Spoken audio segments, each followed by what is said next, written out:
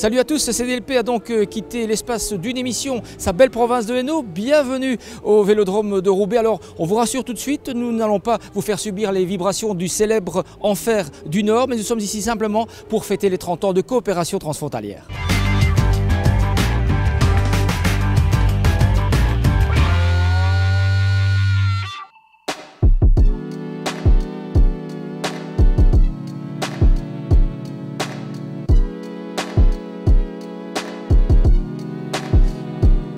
Marques, prêt, c'est ce que l'on entend régulièrement sur cette ligne de départ. C'est aussi le nom original d'une association qui a pour objectif de créer des ponts entre la maladie, la déficience physique plus particulièrement, et la santé. Et figurez-vous que cette association, eh bien, elle est aussi nominée pour les mérites sportifs de la province de Hainaut qui ont lieu ce soir. Céline n'avait pas 30 ans lorsqu'un virus a endommagé sa moelle épinière. Isabelle, quant à elle, a souffert récemment d'un cancer du sein. Toutes deux viennent ici le plus souvent possible pour suivre leur programme sportif, un gain énorme dans leur quotidien.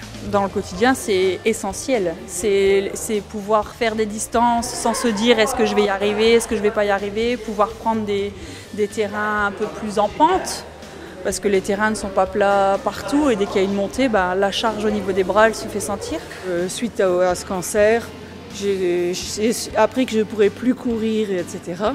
Donc j'ai décidé de faire euh, une gym adaptée. Euh, quand je bouge, je sens moins de douleur. Donc euh, c'est en effet un gros bénéfice.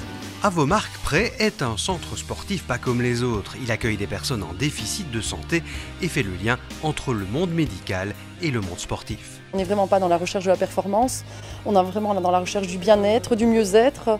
Et c'est même prouvé scientifiquement que pour les personnes qui sont par exemple atteintes d'un cancer, atteintes de diabète, atteintes de sclérose en plaques, toutes ces maladies-là sont vraiment. Le sport est vraiment hyper important euh, au quotidien. Ça peut diminuer les risques de récidive euh, dans certains cas de cancer. Ça diminue les états de fatigue, contrairement à ce qu'on pourrait penser, puisque lors de séances de chimio, les personnes euh, sont très très fatiguées. Et après une séance de sport, elles nous disent qu'elles sont moins fatiguées qu'en arrivant. Donc ça, c'est vraiment génial. Ici, les programmes sont personnalisés entre endurance, renforcement musculaire et cardio. 10 coachs, mais aussi deux sophrologues et une dizaine de bénévoles encadrent les sportifs en tenant compte de leurs besoins. C'est très individualisé, mais en même temps on essaye dès qu'on peut de faire un, cours collectif ou autre, comme ici euh, ce qu'on vient de faire, c'est un cours collectif, mais toujours adapté aux problèmes de chacun. Problème de genoux, problème de hanches, problème de dos, on essaye de s'adapter euh, à chaque difficulté. Des bénéfices pour la santé, mais aussi indéniablement pour la confiance en soi et le lien social. C'est important de voir du monde, c'est important de se dire je suis capable et j'y arrive. Euh, ça me fait du bien, ça m'apporte la vie sociale en tout cas. Et puis ça me fait transpirer un peu, ce qui n'est pas mauvais malgré tout.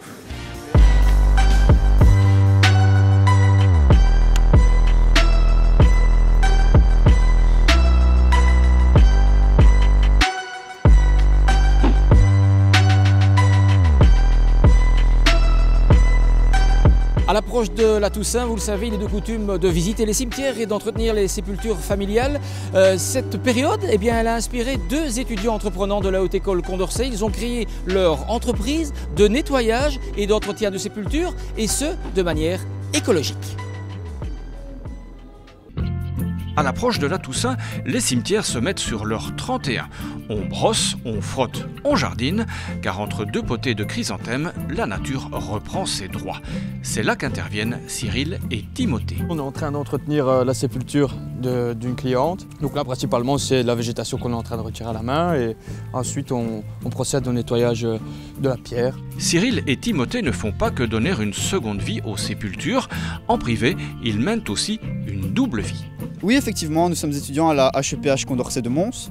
Euh, nous suivons un bac en marketing, nous sommes en dernière année. Et pour gérer ces deux activités, ils ont fait appel au statut d'étudiant entrepreneur. Je ne vous cache pas que c'est assez difficile de, tout mixer en même temps, mais euh, avec une bonne organisation, tout ça, nous, nous y parvenons. Avec les impôts Nous ne payons pas de cotisation sociale ni d'imposition, étant donné que nous ne dépassons pas un certain chiffre d'affaires annuel. Le prix varie selon la prestation, comptez 50 euros pour un simple nettoyage. Au-delà, on peut compter par exemple les pourtours de silicone, euh, des petites réparations. Euh, comme quoi On n'en a pas ici, mais les pierres sont affaissées.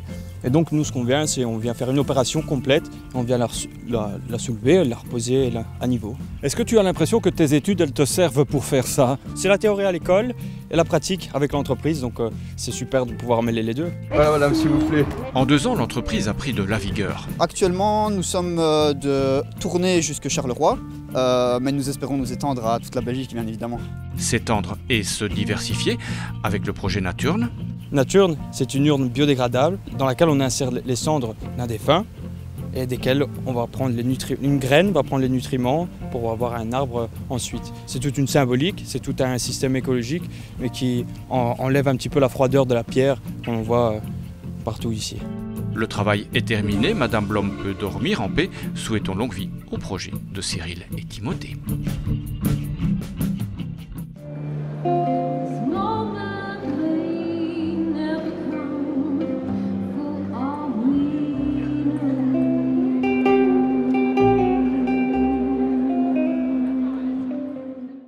Benoît Bastin est originaire de Pont-à-Celle et il est le tout récent lauréat du prix du Hainaut des arts plastiques. Ses œuvres, comme celles des autres candidats, sont actuellement visibles au Tamat, au centre de la tapisserie à Tournai. Et tout naturellement, c'est dans la poche est allé à la rencontre de Benoît Bastin.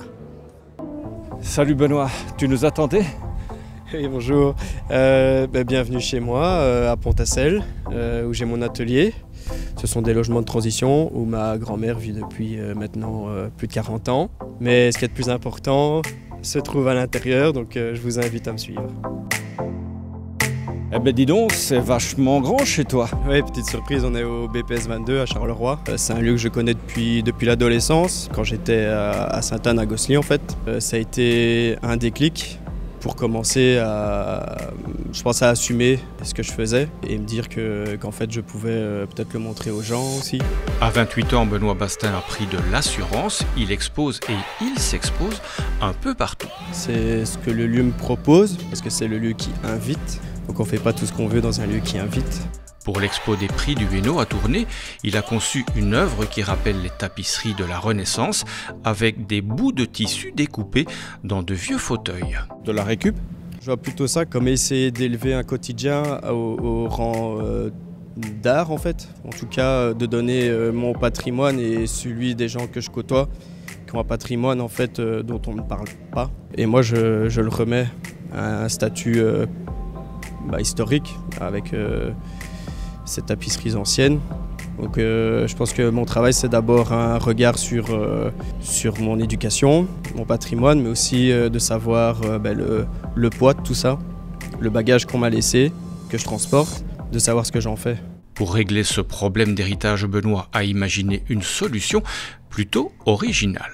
Au Tamat, j'ai proposé une pièce qui est rien d'autre qu'un testament, qui n'est pas mon testament, mais qui est celui d'une dame de 89 ans, qui est ma grand-mère en fait. Elle lègue euh, le jour de, de son décès donc euh, certains objets textiles à différentes collections, dont celle de la province de Hainaut, où là elle lègue euh, son dernier gilet et euh, sa dernière robe. Et pourquoi avoir fait ça? Tout simplement parce que ma grand-mère n'est pas artiste et que je le suis. Et par ce testament, ces objets du quotidien vont devenir des œuvres d'art? Euh, des œuvres d'art, je sais pas, peut-être euh, c'est en tout cas c'est une intervention artistique. Délesté du poids du passé, Benoît Bastin a désormais tout l'avenir devant lui. Tu te verrais bien exposer un jour ici au BPS 22 Qui ne voudrait pas, hein